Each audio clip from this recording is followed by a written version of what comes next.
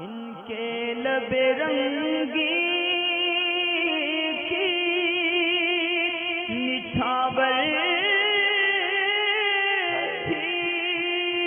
कि जिसने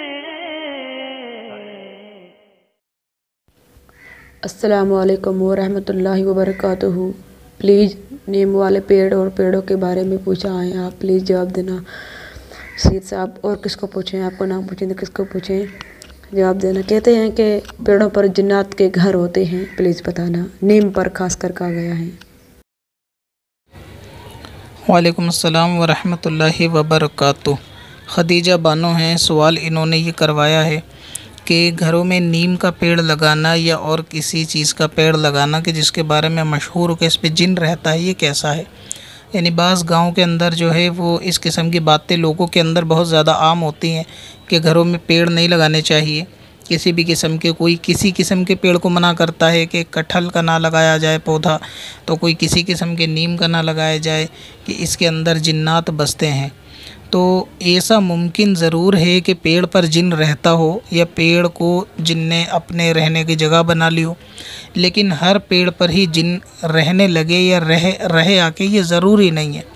तो ये ख्याल लोगों में गलत है। हाँ अगर जिन्नात पेड़ पर रहते हैं तो वो ऐसी जगह होती है कि जो इंसानी बस्तियों से दूर होती है, वीरान पड़ी होती है तो ऐसी जगह पर जो है इनका बसेरा ज़्यादा होता है। अब रहा ये कि घरों के अंदर अगर पेड़ लग गया है, उस पर जिन आकर रहेगा, ये कन्फर्म नहीं होता।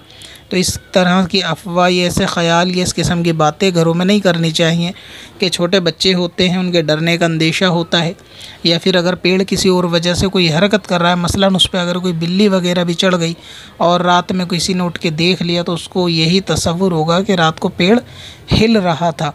और अगर किसी औरत ने देख लिया तो फिर वो एक की चार बातें बना के चार घरों के अंदर आसानी से पहुँचा देगी। तो इसीलिए ये ख्याल लोगों के अंदर जो है, ये गलत है। हर पेड़ पर जिन हो, ऐसा नहीं है। दूसरी बात यह है कि अगर आपको ये लगता है कि घरों में पेड़ लगाना है या पेड़ मौजूद है और उस पर जिन्नात वगैरह ना हो तो आप अपने घर के अंदर एक सफ़ेद मुर्गा पाल लें। वो मुर्गा रहेगा तो इन ताला आपके घर में तो क्या आपके पड़ोस में भी कहीं जिन्नात जो है वो नहीं रहेगा।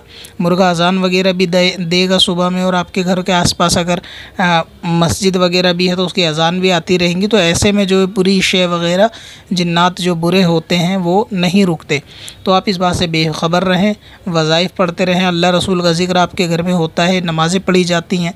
तो फिर ऐसे में कोई डरने वाली बात नहीं है और इस किस्म की बातों से बच्चों के जहन में जो है वो डर बैठ जाता है। तो बच्चों को भी ये समझाना चाहिए कि ऐसा कुछ नहीं होता, इस तरह नहीं होता कि हर पेड़ पर जिन हो, ऐसा ज़रूरी नहीं है।